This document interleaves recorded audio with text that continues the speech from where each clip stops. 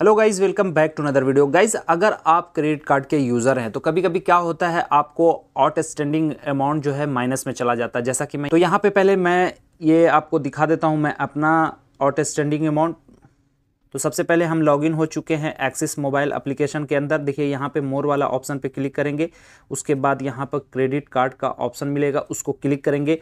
Click करने के बाद अगर आपके पास भी क्रेडिट कार्ड है तो इस तरह का शो हो जाएगा यहाँ पे। अगर आप Flipkart Axis bank credit card के यूज़र हैं तो देखिए, यहाँ पे आप देख सकते हैं, मैं यहाँ पे पहले इसको ओपन कर लेता हूँ। क्रेडिट कार्ड जो है मेरा फ्लिपकार्ट एक्सिस बैंक वाला, देख सकते हैं Axis bank Flipkart Visa credit card यहाँ पे है। अभी देखिए टोटल आउट स्टैंडिंग अमाउंट जो है मेरा minus four three five three point two six ऐसा करके दिखा रहा। हो सकता है आपका कोई दूसरा अमाउंट हो यहाँ पर, मगर यहाँ पे माइनस आ रहा है तो इसका क्या मतलब हुआ? तो गाइज़ आज की इस वीडियो में इसी चीज़ को समझने वाले हैं। तो गाइज़ जैसा कि देख पा रहे हैं, यहाँ पे मेरा टोटल आउट स्टैंडिंग अमाउंट जो है माइनस में जा चुका है, यानी माइनस चार हज़ार तीन सौ तिरपन रुपया छब्बीस पैसा ऐसा जा चुका है यहाँ पे मेरा आउट स्टैंडिंग अमाउंट तो देखिए एक्चुअली है ये क्या? देखिए, सबसे पहले यहाँ पर एक एरो मिलेगा, हम एरो को क्लिक करते हैं, उसके बाद इसको आसानी से समझते हैं, ठीक है?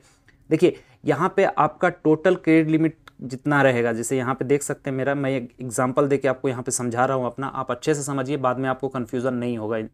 तो देखिए, सबसे पहले यहाँ पे क्रेडिट लिमिट जो है टोटल मेरा पैंसठ हज़ार रुपया है, ठीक है? और अनबिल्ड अमाउंट जो है मेरा इकतालीस हज़ार चार सौ बत्तीस रुपया बाईस पैसा है। उसके बाद अवेलेबल क्रेडिट लिमिट इतना है। मतलब ये मेरा टोटल लिमिट है, ठीक है? और अभी बचा हुआ मेरे क्रेडिट कार्ड में कितना है? ताज हज़ार पाँच सौ सड़सठ रुपया है, बचा हुआ। मतलब हम इतना अभी और खर्चा कर सकते हैं, ठीक है? और मेरा ऑलरेडी खर्चा कितना किया मैंने? इकतालीस हज़ार चार सौ बत्तीस रुपया। मतलब इतना मैंने खर्चा कर दिया है। यानी इसको और अवेलेबल क्रेडिट लिमिट और अनबिल्ड स्पेंड को आप अगर ऐड करेंगे तो टोटल लिमिट आना चाहिए, ठीक है? अगर आप ये दोनों को अभी ऐड करेंगे ना, आप वीडियो पॉज करके भी आप ये दोनों को ऐड करेंगे तो यहाँ पे ये टोटल लिमिट आ जाएगा। तो मतलब कि हमारा अनबिल्ड अमाउंट और अवेलेबल लिमिट दोनों को मिला के ही मेरा क्रेडिट लिमिट पूरा हो जा रहा है। तो यहाँ पर टोटल और स्टैंडिंग मेरा ज़ीरो होना चाहिए। मगर माइनस चार हज़ार हो चार हज़ार तीन सौ तिरपन रुपया हो रहा है। इसलिए कि मैंने जो है बिल पेमेंट में एक्स्ट्रा पेमेंट कर दिया है, ठीक है? तो कभी कभी क्या होता है कि बिल पेमेंट करने के बाद किसी अमाउंट को ई e वगैरह में कन्वर्ट करते हैं ना तो वो क्या होता है कि क्रेडिट कार्ड में बैक हो जाता है कुछ अमाउंट क्योंकि आपने उसको ईएमआई e में कन्वर्ट कर दिया ना तो कुछ अमाउंट बैक हो जाता है। ईएमआई e में अगर आप कन्वर्ट करते हैं ना तो वहाँ पर क्या होता है, ये प्रॉब्लम देखने के लिए ज़्यादातर मिलता है।